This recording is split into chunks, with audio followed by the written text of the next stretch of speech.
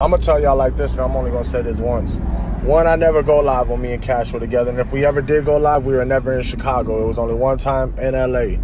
Two, nobody know my motherfucking studio, but I don't play that shit. Three, Cash is my motherfucking daughter's godfather, for like y'all playing with this shit. Y'all playing with people's lives on here too much.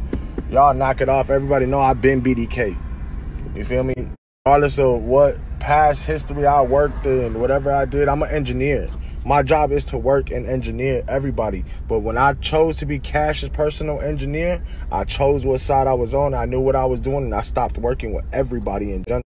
So all these lies y'all doing on the internet for y'all better knock it the fuck off. Cause it's still BDK. It's still long live cash. Still long live duck. Y'all better just y'all, stop playing on the internet.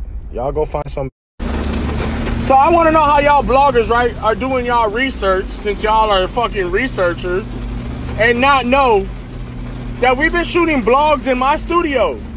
That same studio that Cash was at not the day of, but the day before. We did a song, we recorded two songs at 5 o'clock in the afternoon to like 9 o'clock at night. Then the man had another session to go to.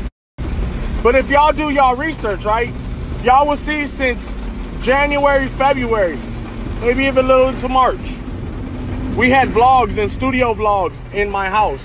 Same studio. Y'all out here playing with lives, folks, doing the most, and I'm not even supposed to respond to this, but y'all not gonna play with me like that. Especially